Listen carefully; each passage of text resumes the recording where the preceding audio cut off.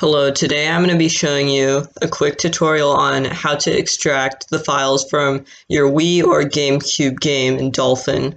It's actually very easy, so what you're going to want to do is open up Dolphin, and then you're going to see your list of games here. So what I'm going to do is I'm going to extract Super Smash Bros. Melee. I can click on it and then right click on it, go to Properties, then I can go here to File System. Then I can click on the disk once and right click it to extract the entire disk. Just so to make sure you want to extract the whole entire files.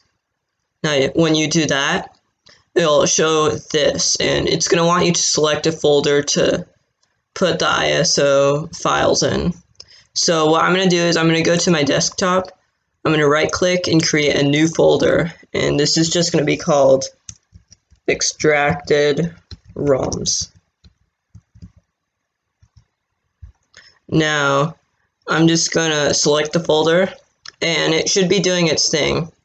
Uh, Super Smash Bros. Melee is a little small so it should be pretty easy depending on the speed of your computer.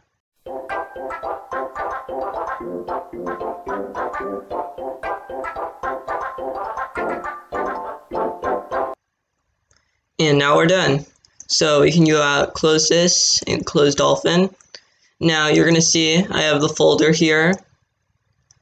And so I can open it up, and here it is. Here's the system files, and here is the, the disk files. So as you can see, I have everything here. It is completely extracted. Now you can do whatever you want.